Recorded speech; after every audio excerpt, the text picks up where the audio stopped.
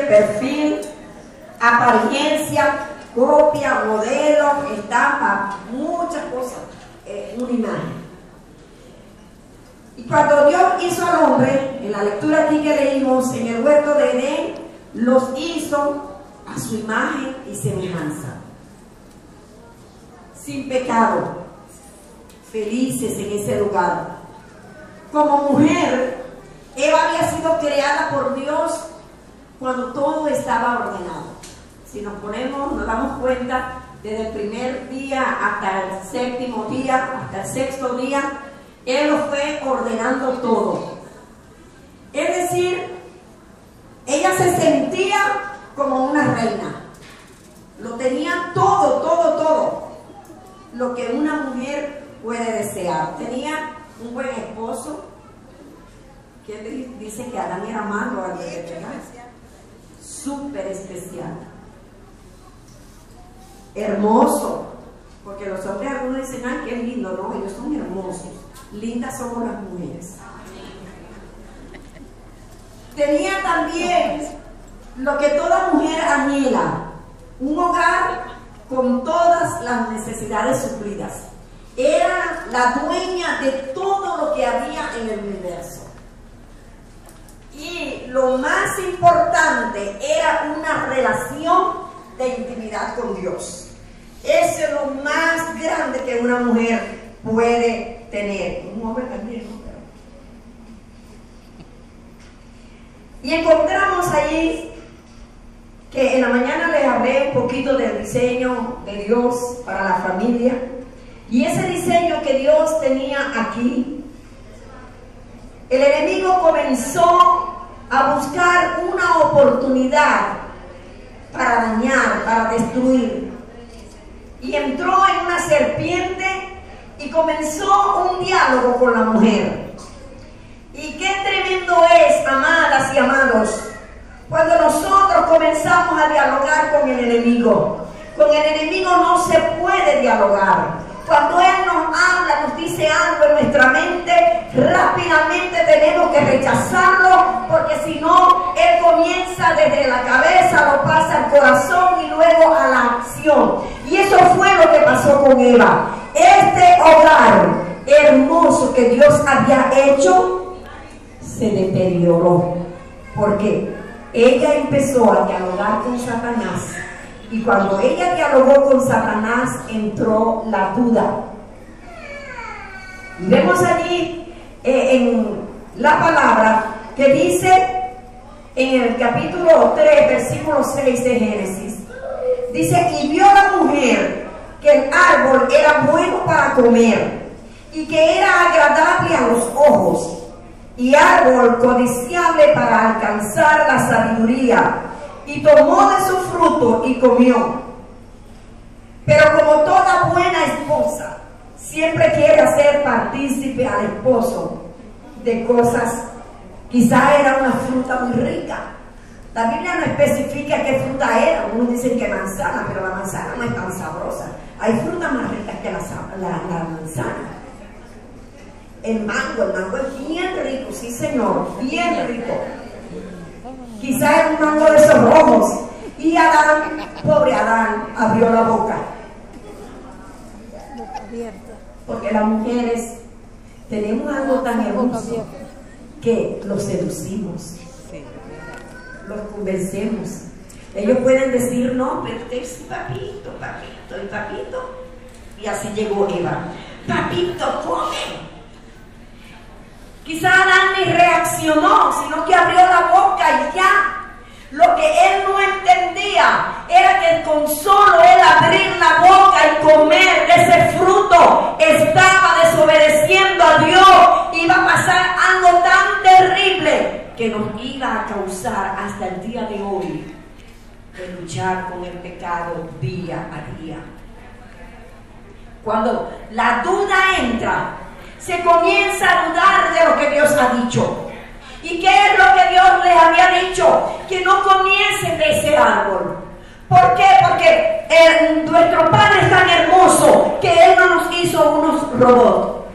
Él nos hizo alguien, como predicaba mi amada hermana Orfa anoche, que nos hizo para alabanza Y si Él nos hizo para alabanza de su gloria, tiene que ser una alabanza espontánea, una alabanza que salga de lo más profundo de nuestros corazones, no una alabanza obligada, sino algo que nosotros sintamos que estamos enamoradas, enamorados de ese hombre por excelencia.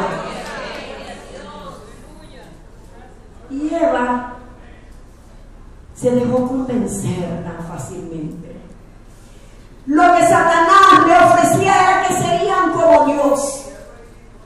Pero ¿qué más podía anhelar una mujer que lo tenía todo? Una mujer que Dios le había dado todas las cosas ordenadas. Una mujer que tenía el privilegio de oír la voz de Dios cuando se paseaba en el huerto, inocente, santa, sin mancha. ¿Qué más anhelaba? Pero el maligno la sedujo de tal forma, de tal forma que ella se dio. Las consecuencias de la desobediencia. Ellos, sus ojos fueron abiertos y se dieron cuenta que estaban desnudos. Dice ahí la palabra que antes de pecar ellos estaban desnudos y no se avergonzaban el uno del otro. Pero cuando el pecado entró, ellos se dieron cuenta y se vieron desnudos y se empezaron a esconder. Tenían miedo. Pero dice que se escondieron de la presencia de Dios. El pecado muchas veces hace que nos escondamos de la presencia de Dios nos escondamos de los los líderes. Cuando alguien cae en pecado, mire, no quiere ir a la iglesia y si va a estar por allá rezagadito, porque cree que todo lo están señalando, pero es el mismo, su misma conciencia, es el Espíritu Santo que le está redarguyendo y él se esconde. Así se sintieron Adán y Eva después que ellos desobedecieron. Ellos se dieron cuenta que ahora estaban desnudos, que habían perdido ese gran privilegio de estar en el huerto de Edén. Y dice la palabra que ellos fueron destituidos, por cuando todos pecaron, están destituidos de la gloria de Dios. Pero ellos fueron destituidos de ese huerto de Edén tan hermoso, que cuando ella quería comerse una fruta, ella llegaba y la agarraba y se la comía. Lo que ella deseaba allí lo tenía en el huerto. Pero después de ser echado fuera de ahí, todo era difícil. Ya no habían frutitas allá afuera ricas. Ya no había ese lugar hermoso donde la gloria de Dios se movía, porque el enemigo vino y engañó con su mentira. Y ella oyó esa voz, desobedeció. Y ahora estaban las consecuencias. Y se aparece Dios y pregunta, ¿dónde estás ¿Por qué te has escondido? ¿Por qué huyes de mi presencia? ¿Por qué no quieres estar conmigo si es tan lindo estar en la presencia de Dios? Pero llegó ese momento que él tuvo miedo y se escondió y Dios le dijo, ¿quién te enseñó que estabas desnudo? Porque él no sabía que era estar desnudo. Él no podía entender, pero cuando el pecado entró y sus ojos fueron abiertos, él se dio cuenta su situación. Y fueron las preguntas que Dios le hizo. ¿Dónde estás tú? ¿Por qué te has escondido? ¿Por qué huyes en mi presencia? ¿Quién te enseñó que estabas desnudo? ¿Has comido del que no comieses? ¿Qué es lo que has hecho?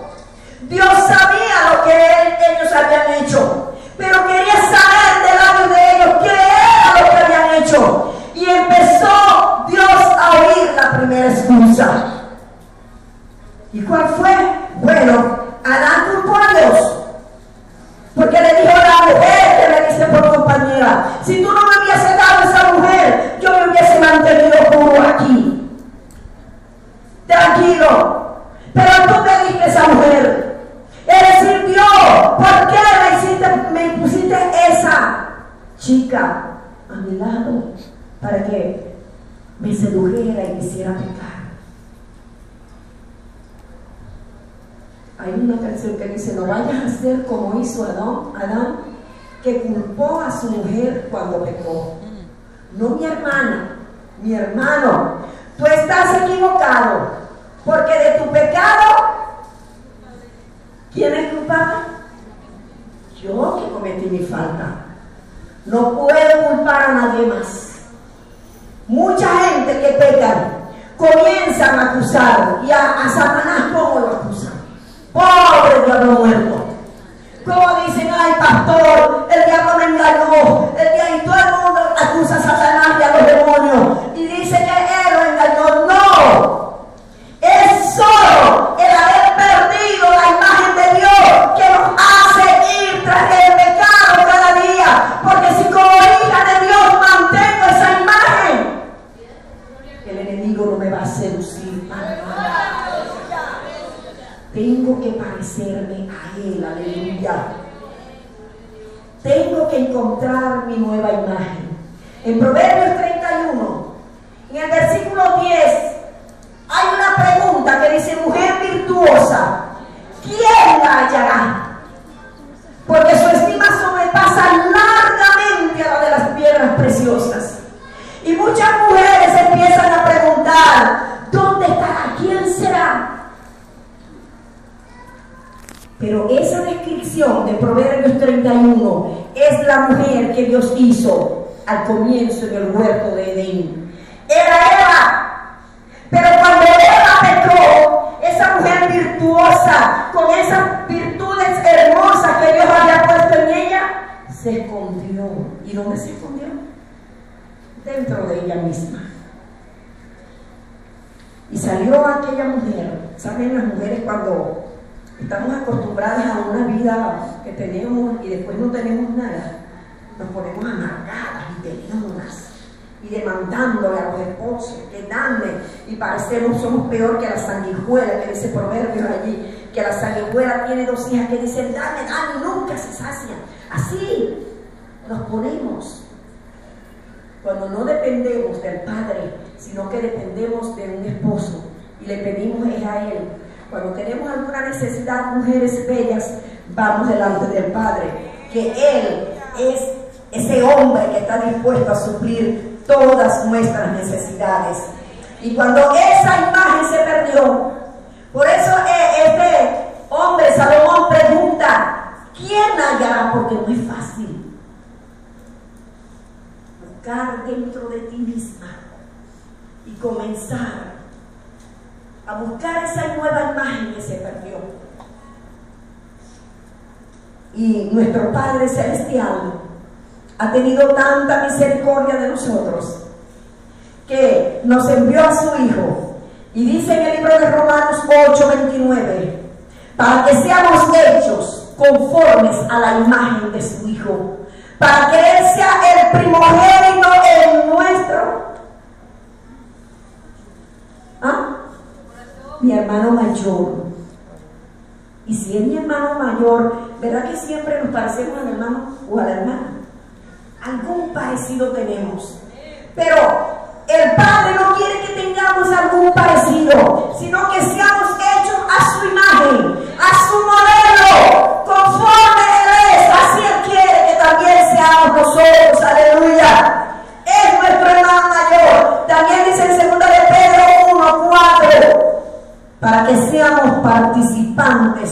Naturaleza divina. Qué lindo es tener la naturaleza de Cristo en nosotras, en nosotros, hermanos y hermanas. Qué lindo es cuando nosotros nos preocupamos en parecernos a Él. Ahí cuando dice que seamos hechos conformes a la imagen de su Hijo, para que Él sea el primogénito entre muchos hermanos. O sea que Jesucristo tiene tantos hermanos. ¿Cuántos son hermanos de Él? A veces nos parecemos y a veces no nos parecemos, pero en nada. Porque esa imagen se ha perdido. Pero hoy es el día en este congreso que cada uno y cada una de nosotros decidamos decirle, Señor, yo quiero ser yo quiero ser participante de esa naturaleza divina. Yo quiero seguir viviendo con un disfraz. Porque es muy fácil usar un disfraz, una apariencia. Pero qué bello es cuando nosotros decidimos parecernos a Él. Y para parecernos a Él no es fácil. Allá en el libro de Corintios, si no me equivoco, dice, no podéis comer de la mesa del Señor y de la mesa de los demonios. Porque queremos vivir un evangelio mezclado. Dios nos manda, nos demanda, nos pide que seamos santos. Pero queremos vivir un evangelio a nuestra comodidad y no conforme Él quiere.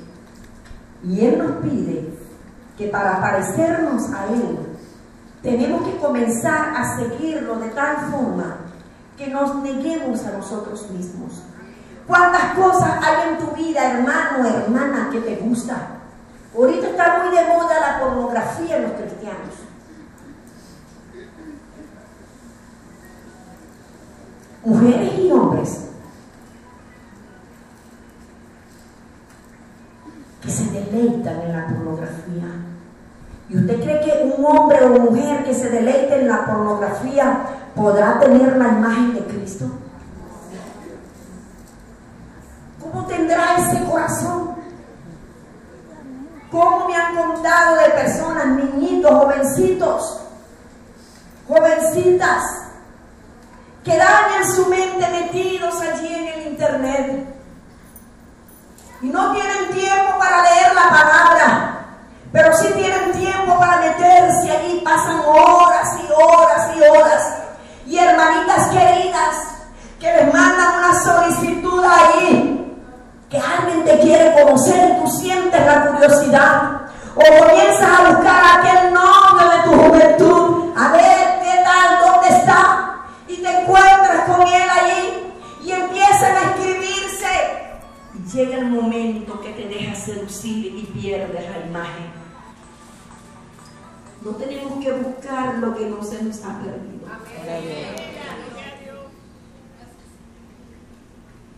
¿Cuántas cosas terribles pasan?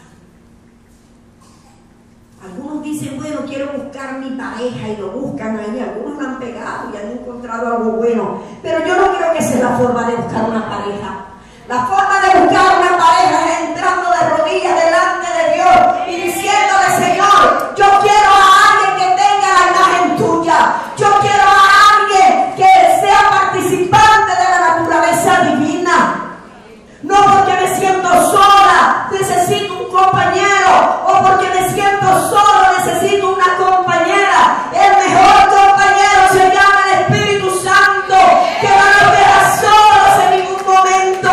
Él siempre está a nuestro lado, sufriendo nuestras necesidades físicas, económicas, emocionales. Todo Él lo sufre.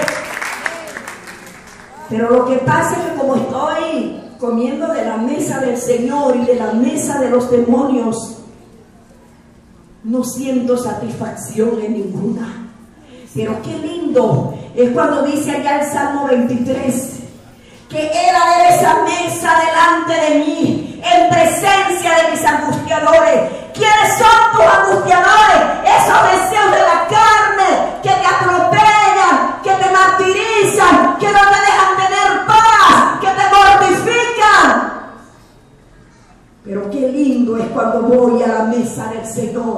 Y en medio de sus angustiadores, de esos deseos carnales, allí yo me alimento y como y el fruto del Espíritu comienza a manifestarse en mi vida, porque eso es lo que Dios desea de cada uno y cada una.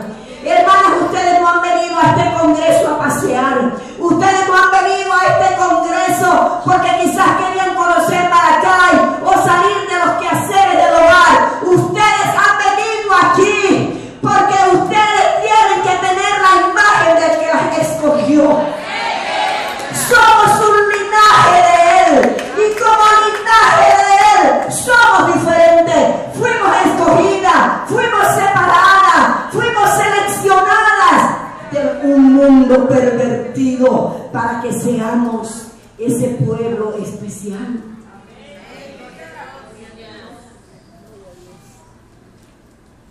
Cristo es mi modelo. Y Él dijo, aprended de mí, que soy manso y humilde de corazón. Algunos dicen, yo soy manso, pero no inmenso. Pero la Biblia no me dice eso. Dice que yo tengo que ser mansa. Mansa. Y dice ya, si te dan en la mejilla, ponle también la otra. Y no esta mejilla. Si fuera esta, que fácil fuera. Porque una cachetada cualquiera lo soporta. Pero lo tremendo es que nosotros, como hijos e hijas de Dios, nosotros perdemos nuestros derechos. No tenemos derecho porque nuestro derecho lo tiene nuestro hermano mayor. Él es el que manda en nosotros. Él es el que nos gobierna. Pero ¿qué es lo que pasa? ¿Por qué perdemos la imagen? Ah, porque yo quiero mandar al hermano mayor y quiero caminar a mi manera. Pero hoy es el día en que esa imagen que ha sido perdida, yo tengo que buscarla, conquistarla y tenerla. Y en la mañana, cuando yo me enteré que la hermana no venía, me entró una angustia muy grande. Y le dije al Señor, Señor, pensando que va a predicar a Wolfo otra vez, ¿quién iba a predicar, Señor? Y el Señor me trajo esa, palabra en mi mente, buscando la imagen perdida. Rapidito yo me levanté y empecé a escribir. Y le dije, Señor, yo no la quiero perder en ningún momento. No sé si recuerdan la historia de aquel hombre llamado Balaán, que dice que Balaán le pagó para que él maldijera al pueblo de Dios. Y algo que él decía es caído pero con los ojos abiertos. Dios le mostró cosas tan hermosas a Balaán, pero él repitió muchas veces, caído pero con los ojos abiertos, y profetizó de Cristo, dijo tantas cosas hermosas, pero estaba caído.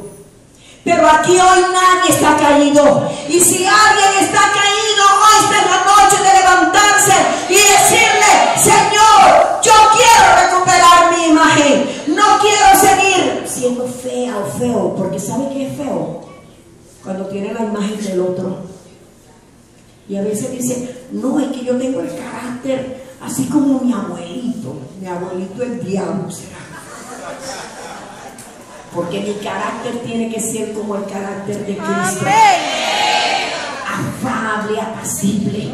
Y Proverbios 31 allí dice de la mujer virtuosa que abre su boca con sabiduría y la ley de clemencia está en su lengua. Muchas veces queremos parecernos a Cristo, pero esa lengua que tenemos es tan venenosa que cuando se abre y habla, daña, deteriora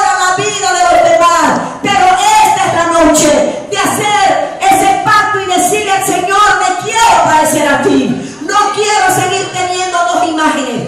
Porque será que es feo con dos imágenes, ¿verdad? Pónganse en pie. Aleluya.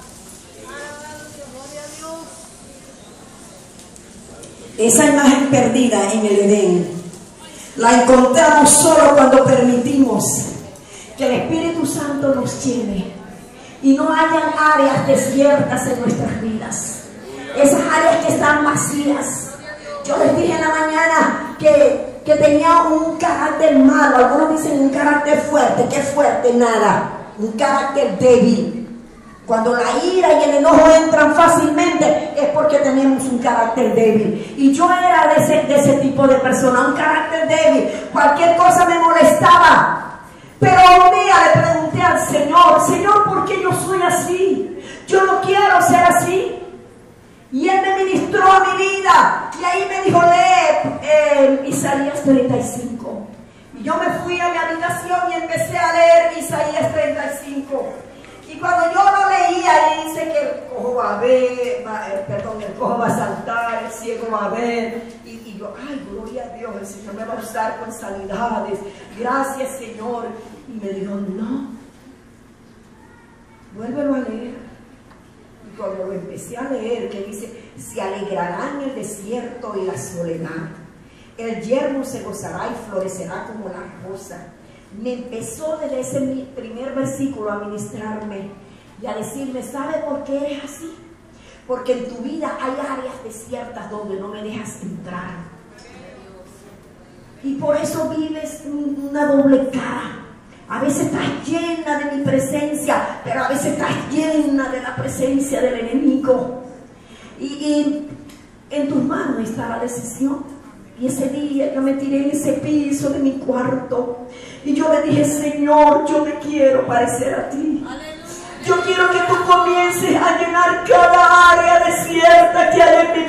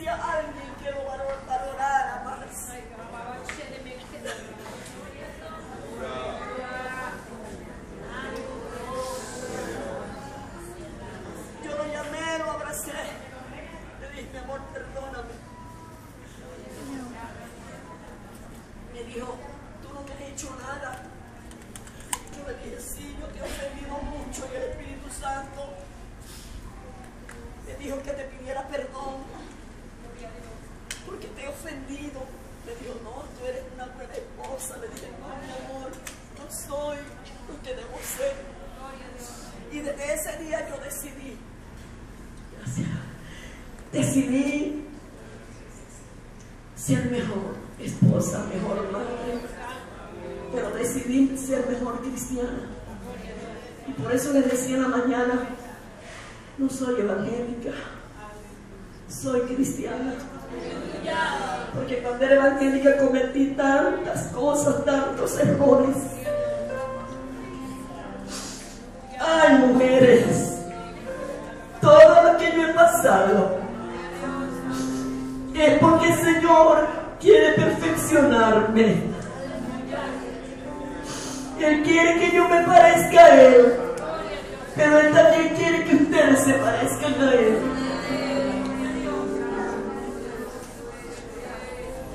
Había días cuando me daba tanta ira y no sabía por qué.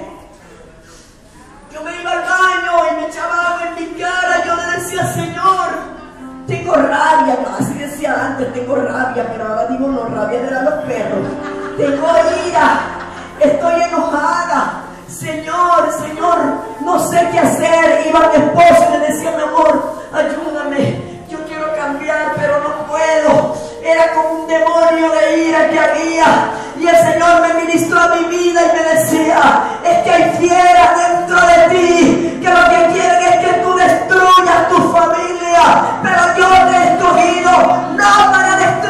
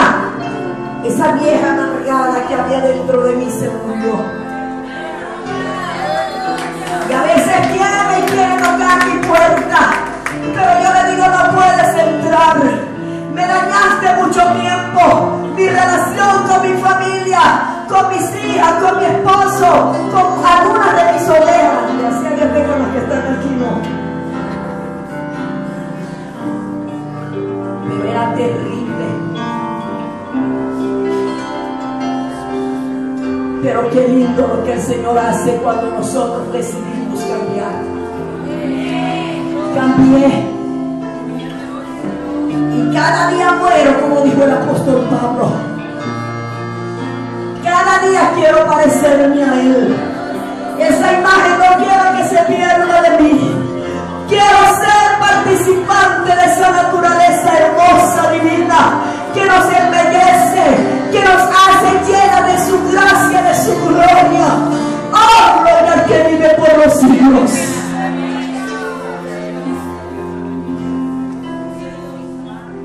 Mujer,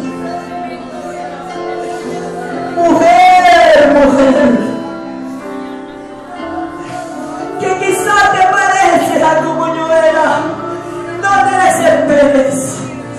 Yo me recuerdo una vez que estaba tan desesperada, que le hice una carta a mi Señor. Y yo le decía, Señor, yo no me soporto. Y si yo no me soporto, ¿Cómo mi esposo puede soportarme? ¿Cómo mis hijas pueden soportarme?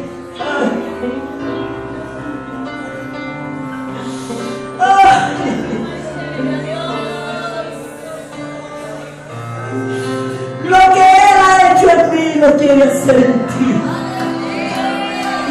Él es el Dios de lo imposible. Solo Él quiere que seamos como el barro en sus manos para hacernos a su manera, a su imagen, para que nos parezcamos a Él. Yo te invito a que pases a este lugar. Si sientes que has perdido esa imagen o tienes una doble imagen, aquí está Jesús. El hombre más bello, el hombre que nos ama, mujeres. El hombre que vino a darle valor a las mujeres Aquel que cuando le llevaron a aquella mujer adúltera para que la apedreara, él la defendió. Aquel que dialogó con aquella mujer samaritana que nadie la tomaba en cuenta, él está aquí.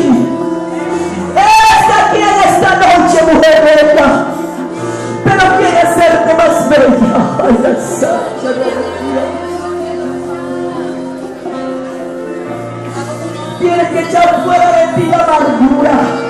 Hay muchas mujeres que en su cara se le ve la amargura, que en su cara se le ve que son mujeres problemáticas y siempre las mujeres que quieren más carácter dicen, es que tengo un carácter fuerte. No, es el carácter más débil que hay. Porque el carácter fuerte es cuando el carácter de Cristo está en nosotras y nada nos cambia, nada nos hace desviarnos de ese verdadero carácter, el carácter de Cristo.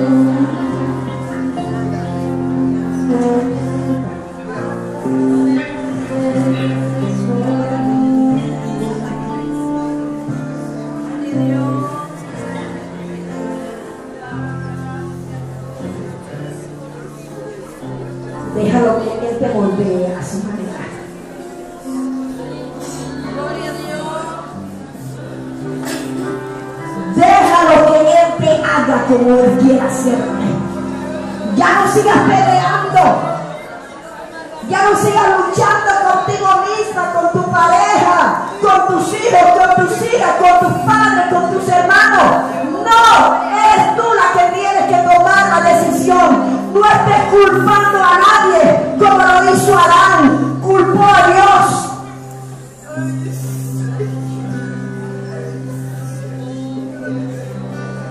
Vamos a culparnos a nosotros mismos por nuestra debilidad por ser tan débiles en tomar decisiones, de ser firmes y tener la imagen de Cristo. Si Él nos hizo su imagen y semejanza al comienzo, es porque quiere que seamos mujeres hermosas, que nos parezcamos a Él.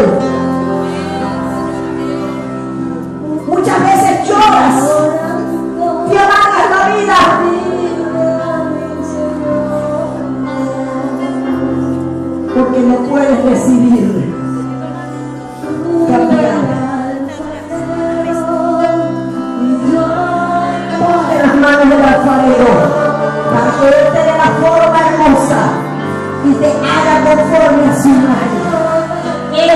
Madeiro.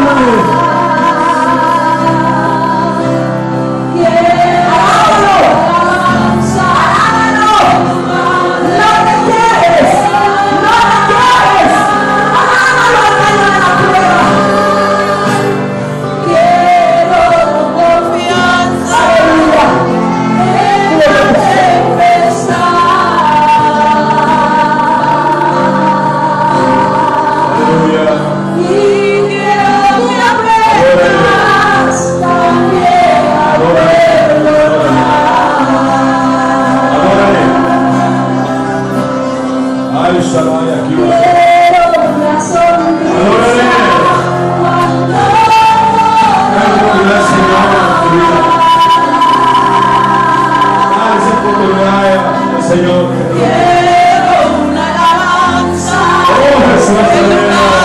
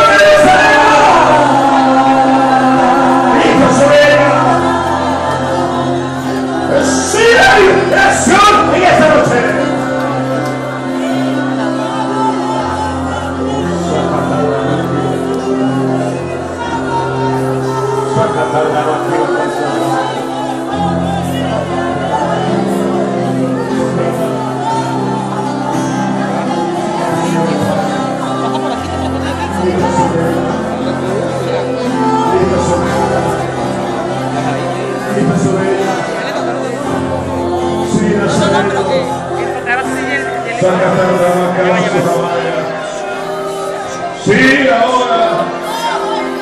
Ministra Jesús sobre ella. La libertad, Señor, en tu vida.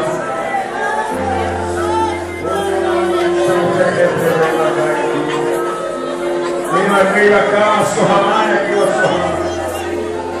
¡Nazareno.